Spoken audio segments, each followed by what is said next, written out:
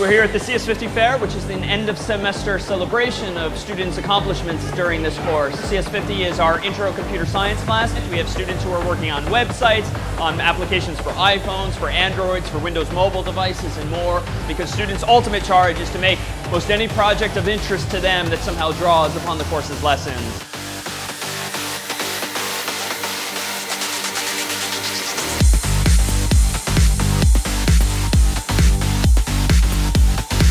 Beginning of the year, I've been signing up for a bunch of mailing lists to find out about free food events because I really like free food. And I wanted an easier way to automatically identify these free food events and to share them with other people. We wrote a machine learning algorithm that we taught to recognize free food events. We parse the email for information about when it is and where it is, and then we post it on our website.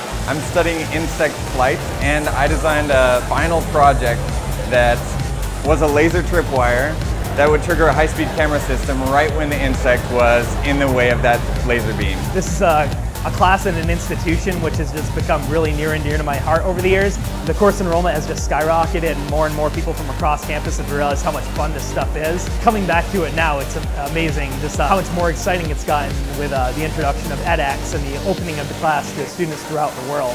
Every time I think CS50 has gotten as big as it possibly can, it gets that much bigger.